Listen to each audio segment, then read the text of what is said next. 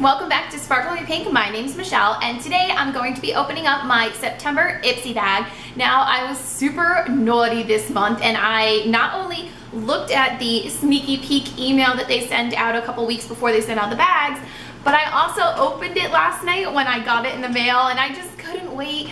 But the glory about that is that I'm actually wearing some of the stuff right now and I can um, give you a little bit of a feedback tidbit about what is in the bag. So let's go ahead and see what all came in the bag and I'll talk some more as we go along. So this is what this month's bag looks like. It is super cute, bronzy, sort of classic glamour kind of shade and texture and look and everything like that. And it's a little bit different of a shape, so I like that as well. Usually it's like more square-ular, square-like.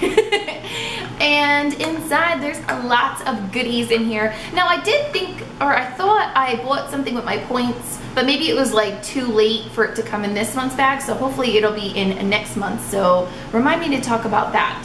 All right, First item out of the bag was something that when I saw the sneaky peeks, I was like, I want that. This is the NYX eyeshadow palette that is specially made for Ipsy. And it's what I have on my eyeballs today. I used the light shade all over the lid the more bronzy brown shade on the outer third and into the crease and then this dark black matte black the other two are kind of shimmery but the dark matte black on the outer corner to just sort of smoke it out just a little, little bit there.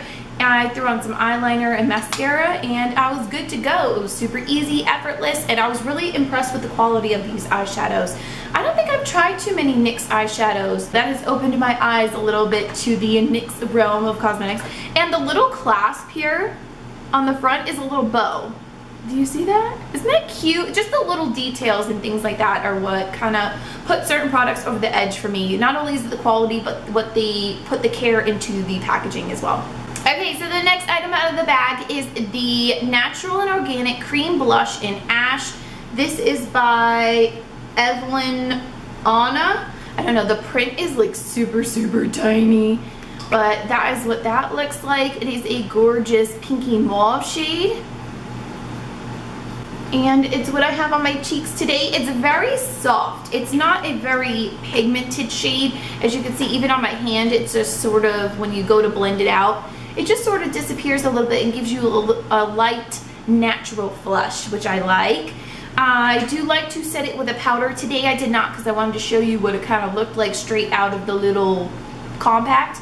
But yeah, it's pretty cool and I like cream products. They look more natural. Next product out of the bag is one I have not tried yet and it is the Bayberry Naturals Rose Hips and Hibiscus Hibiscus moisturizer, no sulfates, parabens, phthalate, no artificial fragrances or dyes. It is 81% organic and 100% vegan. It's a cute little bottle there. Let's go ahead and put some on because my hands are so stinking dry. It has a light fragrance to it. It's not too in your face. It's nice. There's something, it's just a, a moisturizer, nothing over the moon about it. Um, yeah, it's nice to have, I guess. Next product out of the bag is another product I have not yet to try. It is the Vasanti Brighten Up Enzymatic Face Rejuvenator. It's an exfoliating cleanser. It's a cute little bottle like that. And yeah, I look forward to trying that. Although it looks like it's only like a third full. Isn't that like disappointing when you only when you get like a bottle like this but it's only like filled to here? And the last product out of this month's bag is actually one I already owned in the full size. It is the Trestique Nantucket Nude Matte Lip Crayon. And this is the mini. This is what came in the bag. Isn't that adorable? It's what I have on my lips right now.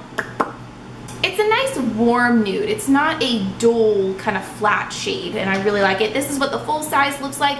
I bought this when I was at Generation Beauty. I just couldn't keep my hands off of it when I saw the color. I was like, I have to have it. So it comes out in a crayon form on this side and then the full size has a double end of a little gloss that you can put on. Just, I like to put it on just in the center just to re-moisturize your lips because it is a matte lip product. Just adds a little moisture, not too much gloss. And I really like this. I've been keeping this in my purse a lot. I've been liking all of the Trestique stuff that I've been trying out. I really need to sit down and do a video and show you guys all of what I have because it is really, really cool. So that for this one's Ipsy bag. Let me know what you think about it in the comments down below. Give this video a thumbs up if you liked it and stay tuned for new videos coming out very soon. I should be having my BoxyCharm box going up soon. I have a Dermastore box that I need to open and show you guys. It's really exciting. It's a brand new box for me, so we will open it together and see what it's all about. Um, I think that's it. Thank you so much for watching, and I'll see you in my next video. Bye!